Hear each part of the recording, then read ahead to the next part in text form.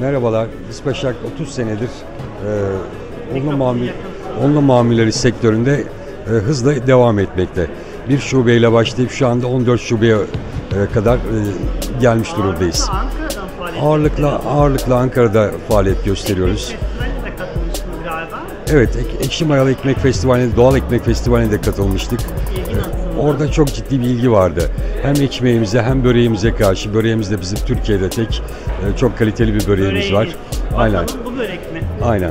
Ne diye geçiyor? Su böreği mi? Su böreği de Erzurum su böreği diye geçiyor. Özelliği nedir? peki Özelliği Erzurum su içindeki böreğinin? peyniri tamamen Mispaşa özel bir e, yapılan bir peynir var. Evet. Üstünde de saf tereyağı var.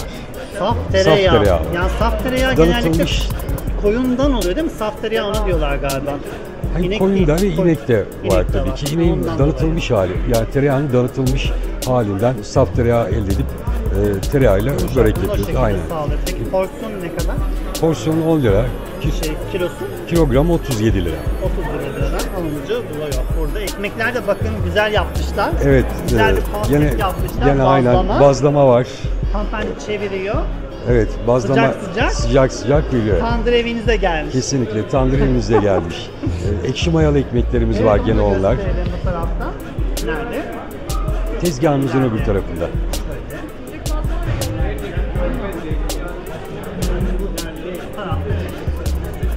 Burada da tamamen doğal e, su değirmende öğütülmüş buğdaydan ürettiğimiz su değirmeninde öğütülmüş. aynen öğütülmüş buğday ekmekleri. Bunun cevizlisi var, tahıllısı var.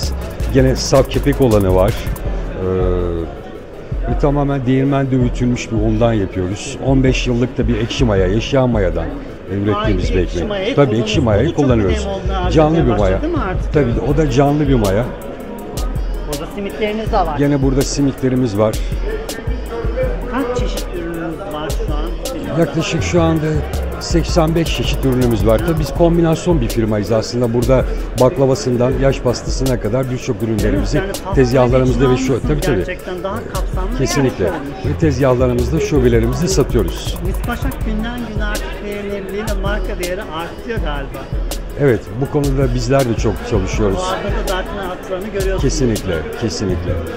Peki festivale niçin gelmeliler ziyaretçiler son olarak? Festivale O- niçin gelmeliler? Bir kere kahvaltı bizim geleneksel ananevilerimizden bir tanesi. Ekmek de aynı şekilde. Ee, Diğer şarküteridir, peynirdir onlar da aynı şekilde.